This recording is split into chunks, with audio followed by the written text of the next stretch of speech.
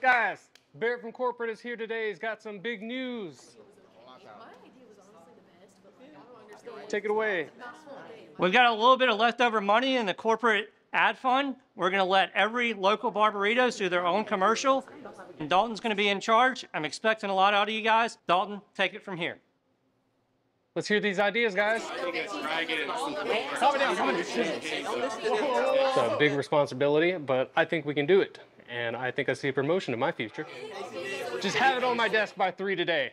Uh, okay. Get back to work. We got lunch. My name is Harrison. I'm the assistant manager. My commercial idea is that we wage war and slash prices.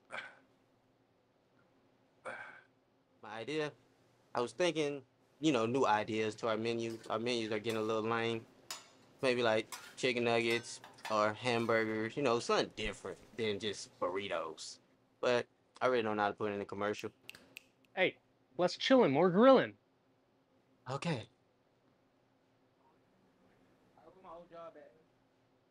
I'm definitely a little worried, but we'll see what happens. We love, we love Rio. A what? We love, we love burritos. Queso. Queso. Guacamole! I, I like your song. Corn salsa. Can I get some food? My idea is take this. Barberitos Land, land of Barberitos. We, we film a commercial. We open up a new place in the alley out back. Pepe will be there. You can like take photos with him for a small fee, of course. We should also probably start selling toys.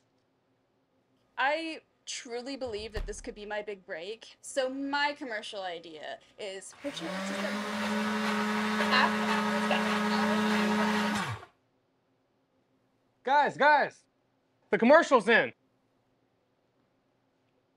Check this out. What are the things that matter to you?